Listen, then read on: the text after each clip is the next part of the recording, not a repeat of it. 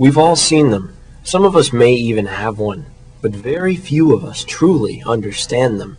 The mullet, or the bi-level haircut, is one of the great mysteries of our time.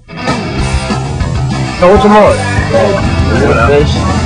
Sounds like a fish. I've never heard that term, like mullet. You got the soccer rocker. The neck warmer? The boss. The squirrel pelt. The shorty long, the show low, Kentucky waterfall. the mud flask. The eighth grade. Yeah, mullet.